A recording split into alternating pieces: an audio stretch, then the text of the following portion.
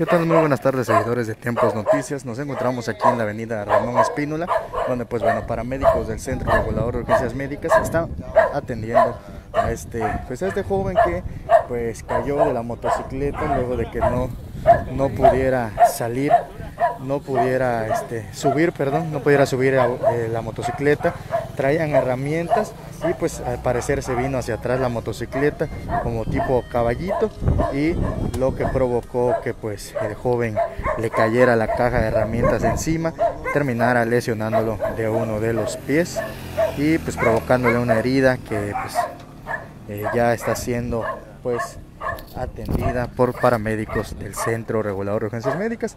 Esta es la motocicleta en la que venían ellos a bordo. Pues bueno, como les comentamos, venían subiendo este cerro de aquí de la Ramón Espínola, subiendo de la carretera Antigua Mérida.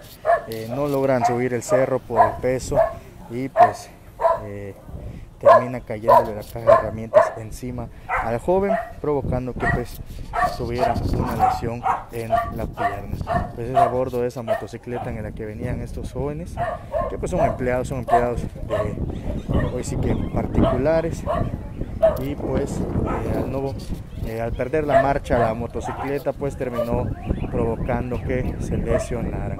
Pues es la información, seguidores de Tiempos Noticias, aquí en la avenida Ramón Espínola, donde pues un joven termina lesionado. Esperemos que no sea eh, pues requerido su traslado médico, que sea simplemente una lesión pues leve, esperemos que solamente eso sea, pero pues bueno, traían esta caja de herramientas y esta, esta escalera, lo que pues no ayudó mucho que el joven pudiera guardar el equilibrio fue lo que le cayó encima al joven en una de las piernas y lo lastimó.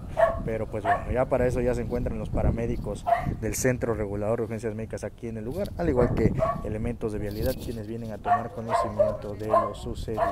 Pues la información, la información seguidores de por tiempos noticias es la información que hay en este lugar donde pues como les comentamos pues no, no pudo subir la motocicleta y terminó viniéndose para atrás cayéndole la caja de herramientas al joven en una de sus piernas y pues terminó lastimando. Pues es la información seguidores de tiempos noticias les invitamos a darle like y a compartir nuestras publicaciones para que usted siga enterado de lo que acontece aquí en nuestro estado. Les mostramos una vez más la motocicleta en la que venían a bordo. Pues pierde, pierde fuerza el motor y termina provocando que se vengan hacia atrás. Pues ya como les comentamos, paramédicos del Centro Regulador de Urgencias Médicas se encuentran ya aquí en el lugar tomando conocimiento de lo sucedido y están valorando al joven motociclista que venía pues acompañando acompañando a otra persona y al perder la fuerza de motor, pues terminaron cayendo, cayendo de la caja de herramientas en una de sus piernas. Pues hasta aquí nuestra información, que pase usted una excelente tarde.